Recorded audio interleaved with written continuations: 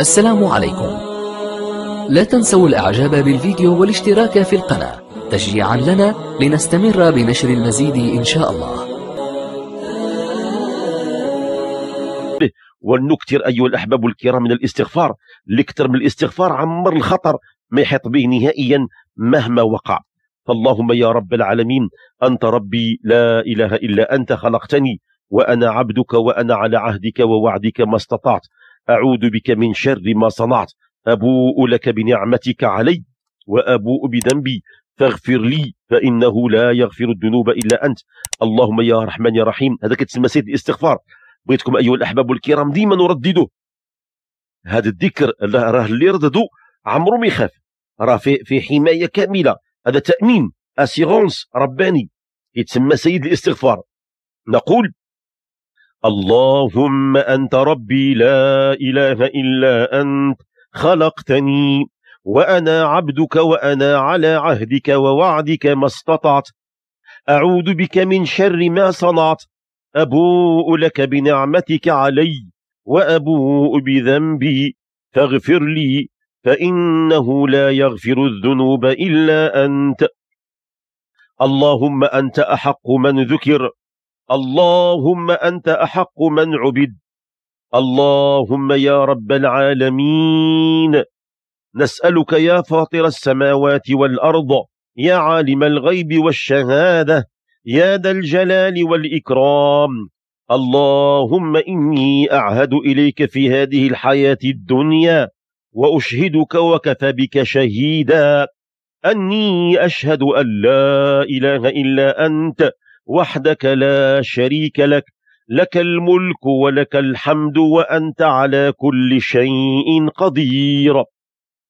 وأشهد أن محمدا عبدك ورسولك وأشهد أن وعدك حق ولقاءك حق والساعة آتية لا ريب فيها وأنك تبعث من في القبور. اللهم أنت أحق من ذكر وأحق من عبد اللهم أنت الملك لا شريك لك وأنت الفرد لا ند لك. كل شيء هالك إلا وجهك لن تطاع إلا بإذنك ولن تعصى إلا بعلمك. تطاع فتشكر وتعصى فتغفر. سبحانك سبحانك يا رب العالمين. أسألك اللهم بنور وجهك الذي أشرقت له السماوات والأراضين ونسألك يا ربنا بكل حق هو لك وبحق السائلين عليك. نسألك اللهم أن تحفظنا وتحفظ بلادنا وبلاد المسلمين. احفظنا يا ربنا من الزلازل واحفظنا يا ربنا من الفيضانات واحفظنا من الإعصارات واحفظنا من الحرائق. واحفظنا يا ربنا من الجفاف واحفظنا من كل الكوارث. اللهم احفظنا بما حفظت به الذكر الحكيم. وارعانا بما رعيت به الذكر الحكيم. يا رحمن يا رحيم. ما شئت كان وما لم تشأ لا يكون. الحياة صراع والحياة كفاح. والحياة ينبغي أن نعيشها طولا وعرضا. إحنا لا نختار كل شيء. هناك أقدار يفرضها علينا القدر إما إما فقر إما مرض إما نقصان أحبة علينا أن نصبر وعلينا أن نقاوم وعلينا أن نستمر في في العمل نستمر في الإبداع وأحسن ما يهتم به الإنسان هو هو طلب العلم لأن طلب العلم هو نور يقال بأن العلم لأبناء الأغنياء جمال. ولأبناء الفقراء مال وجمال. إذا كان واحد كينتمي إلى أسرة غنية وقرأ العلم كيعود عنده الجمال. المال هو موجود عنده ولكن ملي كيقرأ العلم كيعود عنده الجمال فوق المال. أما ولد الفقير فالعلم بالنسبة إليه مال وجمال. يعني غادي يرقع من الوضعية الاقتصادية ديالو وغيجي واحد النهار اللي غادي يقدر يبدع وغادي يقدر يخدم وغادي يقدر يصرف على نفسه وغادي يقدر يعطي للآخرين. فدائما كنشجعوا على طلب العلم رغم الظروف الصعبة. اللي انقطع عن الدراسة ربما كان في البادية كان عوائق اللي اعترض الطريق ديالو راه كاين فرصة ثانية. عندنا مجموعة جمعيات في المغرب كتسمى جمعية فرصة ثانية. شنو هو الدور ديال هذه الجمعيات؟ هما كيقدموا الدعم اللي فاتوا الفرصة قال لك أنا فاتني القطار أنا راه ما, ما وصلت لوالو. كيقول لا ما ما كاينش نهاية. مازال ما حدك في الحياة. كتنفس. ما حدك في الحياة. قلبك ينبض مازال عندك الأمل ومازال عندك الفرصة ديال النجاح. فكيعطوا فرصة ثانية سواء اللي انقطع عن الدراسة كيعطوا فرصة ثانية للتعلم اللي ربما انقطع عن الزواج ربما فشل عاطفيا أو كيعاود يعطوا فرصة ثانية يدعموه باش يقدر يزيد آه، يغير حياته وتستمر معه الحياة.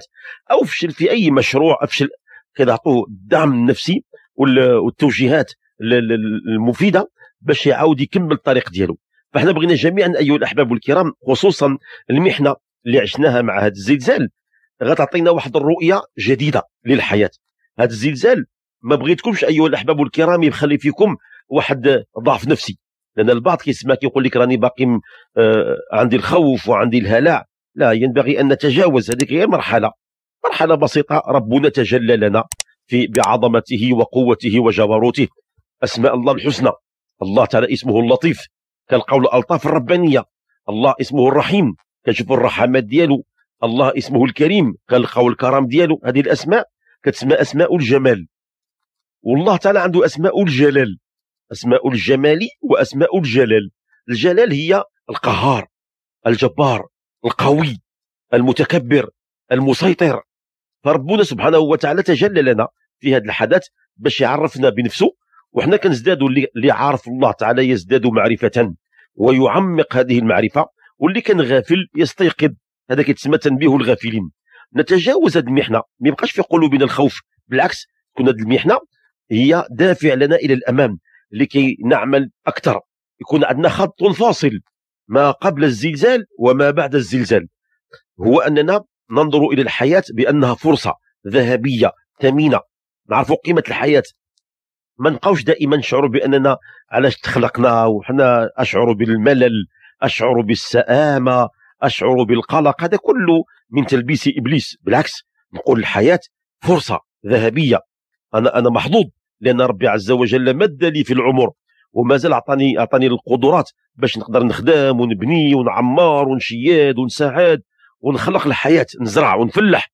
حتى إن سيدنا النبي صلى الله عليه وسلم قال لنا إذا قامت القيامة وبيد أحدكم فسيلة فإن استطاع أن يغرسها فليفعل. القيامة قيمه يعني غدا غنتبعتو. وأنت في يدك فسيلة. واحد النبتة. قال لك إن استطاع أن يغرسها فليفعل. يعني دائما الإنسان عنده العمل ولو الخطر. إحنا ما إحنا مازال العمر ديالنا إن شاء الله تعالى. ولا مشينا إحنا. كاين وليداتنا وكاين أبناء الشعب وكاين أبناء الوطن. نعمل ونجتهد. والقوي منا يأخذ بيده الضعيف. والإنسان يعيش الحياة طولا وعرضا يستمتع بها. أحد الأشخاص قال لي أنا استفدت بعض الدروس. أول حاجة الحياة راه منحة نعيشها طولا وعرضا. ونعبد الله تعالى. يعني العبادة هي رأس المال. لأن كل ما في الحياة آه، إلى مات الإنسان ضيعه وانقطع عنك وانفصل عنك إلا العبادة والعمل الصالح كيبقى معاك وكديه معاك. ملي كتمشي للدار الاخره كتلقى الأهوال ديال يوم القيامة اللي تكلم عنها في أول الحلقة يا أيها الناس اتقوا ربكم إن زلزلة الساعة شيء عظيم يوم ترونها تذهل كل مرضعة عما أرضعت وتضع كل ذات حمل حملها وترى الناس سكارى وما هم بسكارى ولكن عذاب الله شديد.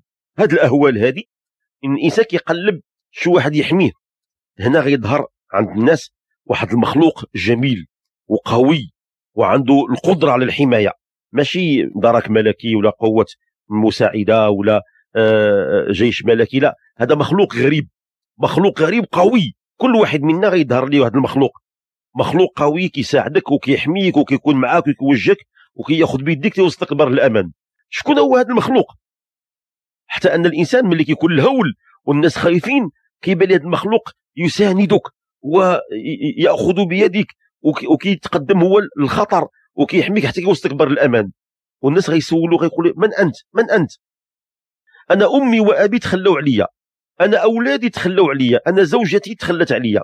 يوم يفر المرء من أخيه وأمه وأبيه وصاحبته وبنيه لكل امرئ منهم شأن يغنيه. شكون أنت أيها المخلوق اللي عندك الرغبة في الإنقاذ والحماية وبغيتي تعاوني وتساعدني وتوقفني؟ في هذا الهول ديال القيامة وهذه الزلازل وهذه البركات شكون أنت؟ غادي يقول لي أنا عملك الصالح. أنا عملك الصالح. أنا كنت كنت تصلي وكنت تنفق من الحسنات وكنت تعمل الخيرات. أنا عملك الصالح. ربي عز وجل جعلني هكذا قوي وجعلني متعاطف معك. وكاين بعض الناس غيبان لهم واحد المخلوق شاحب وهو ضعيف وهو آه، غير قادر يقول لي أنقذني أنقذني يقول لي لا أستطيع أرجوك أنقذني من هذه الأهوال والله أريد ولكن لا أستطيع. غادي يسولوا شكون أنت اللي ما تستطيع؟ تقدم لي المساعدة كنطلب منك ما كتبغيش ما بغيتيش تق... يقول لي أنا أنا عملك عملك الغير الصالح أنا عملك الفاسد أنا ضيعتني وأضعفتني أنا الذي لم تكن تصلي لا فجرا ولا ظهرا ولا عصرا ولا مغربا ولا عشاء ولا نوافل أنا الذي كنت تضيعني في أشياء تافهة أنا صرت هكذا ضعيفا. فالإنسان ينتبه هذا الشيء اللي وقع لنا الآن أيها الأحباب الكرام بخلاصة أن عصر الأنبياء وعصر المرسلين انتهى مع بعثة سيدنا محمد صلى الله عليه وسلم خاتم الأنبياء وإمام المرسلين. انتهى عصر الأنبياء ما بقاش. لكن بقية الرسائل الرسالات انتهت لكن الرسائل باقية. ومن هذا الزلزال هو رساله لنا جميعا لكي نبدأ حياة جديدة ونتعاون في الخير ونتنافس في في في في كل عمل يحبه الله ورسوله. أسأل الله تعالى أن يرزقنا وإياكم الإيمان واليقين. أسأل الله سبحانه وتعالى أن يزيدنا وإياكم من فضله. السلام عليكم. لا تنسوا الإعجاب بالفيديو والاشتراك في القناة. تشجيعا لنا لنستمر بنشر المزيد إن شاء الله.